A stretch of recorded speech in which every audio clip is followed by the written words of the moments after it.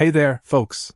Today, I've got something handy to talk about the Brave Cow generator charging cables, specifically designed for Honda EU1000i, EU2000i, and EU3000i generators.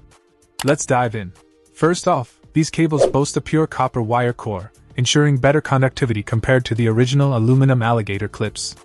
That means faster and more efficient charging for your batteries or camper, which is always a plus, especially when you're out in the wild. Now, what caught my attention is the T-shaped plug design.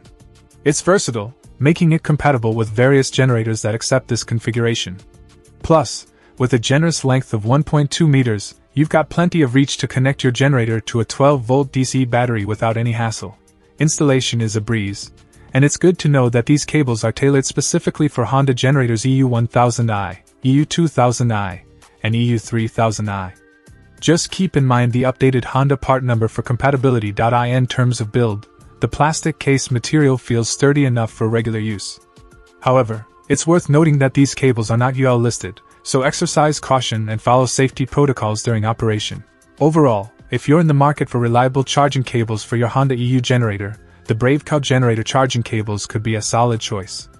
They deliver on efficiency, compatibility, and durability ticking off essential boxes for any generator enthusiast or outdoor adventurer. And that wraps up my thoughts on these charging cables. If you've had any experience with them, feel free to share in the comments below. Until next time, stay powered up and adventure ready. Check out the video description for updated price. And thank you for watching this video.